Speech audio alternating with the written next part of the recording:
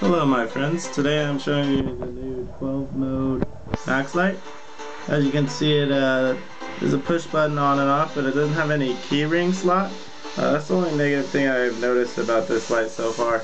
Other than that it's great for gloves because how small it is. As you can see next to the Dropz 3 it is fairly smaller um, because it doesn't have the ring and it's just a circular design.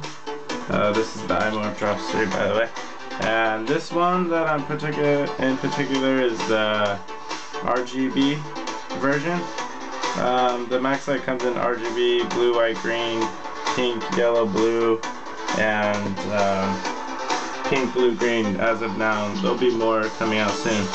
Anyways, I'm going to show you, go through all the modes real quick, show you what this thing can do.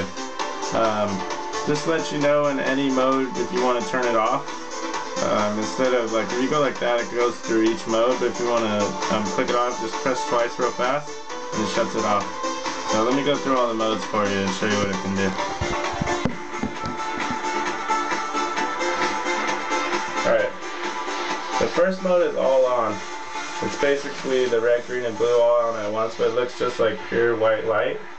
Uh, it's pretty cool if you just want something real bright. If you if you look closely, you can see some color in it. Uh, the camera probably can't picture it, catch it, capture it, but you can see it. Uh, second mode is a ribbon, good old classic ribbon RGB style.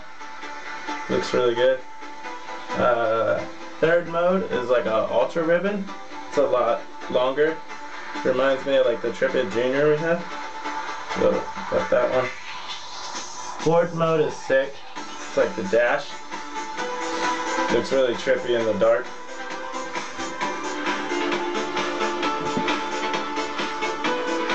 Now the fifth mode is like classic strobe, RGB strobe.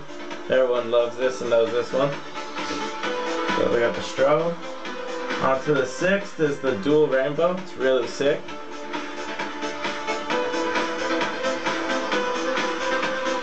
The colors like overlap each other and keep mixing.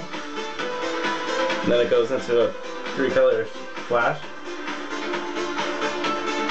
Seventh is the Fusion Rainbow. Really clean too. It's almost like the dual rainbow, but a little different, kind of like our X-Frost uh, category.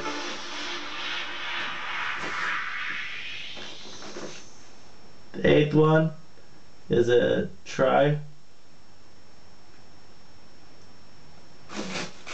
tri tri-strobe. All three are on at once.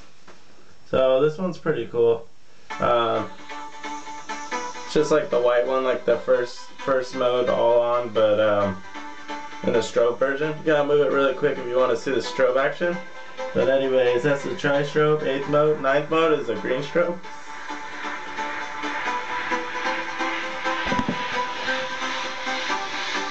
Tenth mode is a blue strobe. Eleventh is red. And twelfth is a dim. This is my favorite mode.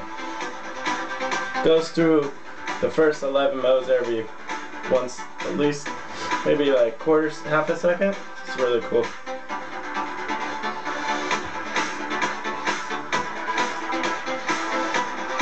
So we actually designed this chip, um, worked with CoinPro on this for several months, and here it is now, bringing you the new 12 mode max light. Available at liquidemotions.com. Thanks for watching.